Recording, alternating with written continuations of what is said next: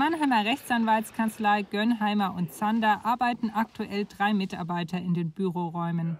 Die anderen sechs sitzen im Homeoffice.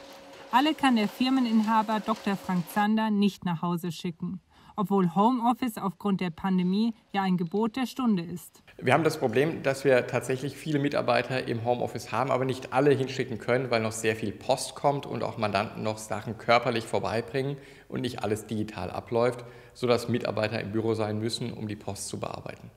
Laut Medienberichten lehnen auch Gewerkschaften und Arbeitgeberverbände in Baden-Württemberg eine Homeoffice-Pflicht ab. Der Appell der Bundesregierung an die Firmen ist es, ihre Mitarbeiter, wenn möglich, von zu Hause aus arbeiten zu lassen. So sollen Kontakte weiter beschränkt werden. Auch sollen so weniger Menschenmassen im Pendlerverkehr, zum Beispiel in Bussen und Bahnen, aufeinandertreffen. Morgen beraten Kanzlerin Merkel und die Länderchefs, wie es weitergehen soll hinsichtlich Lockdown. Auch wenn es hart ist, die Zeichen stehen auf Verschärfung und Verlängerung der Maßnahmen. Zur Debatte steht auch, eine FFP2-Maskenpflicht in Bussen und Bahnen sowie für den Einzelhandel. Außerdem soll besprochen werden, ob Geimpfte schneller wieder Grundrechte zurückerlangen sollen. Außenminister Maas macht sich genau dafür stark. In Mannheim hält man nichts davon. Ja, das ist natürlich eine schwierige, schwierige Aussage. Ne? Man kann ja jetzt nicht die Leute bevorzugen, die eine Impfung haben, vor allem, weil ja nicht jeder Zugang zu einer Impfung hat. Ne?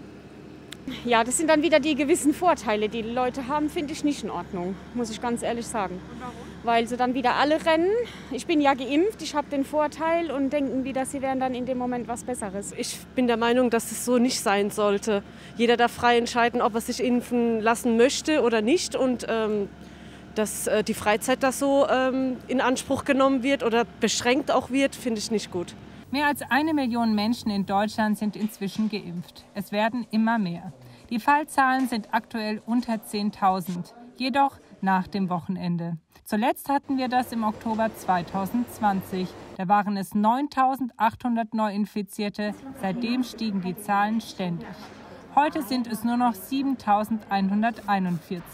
Im Vergleich, vergangene Woche Montag meldete das Robert Koch Institut noch knapp 12.500.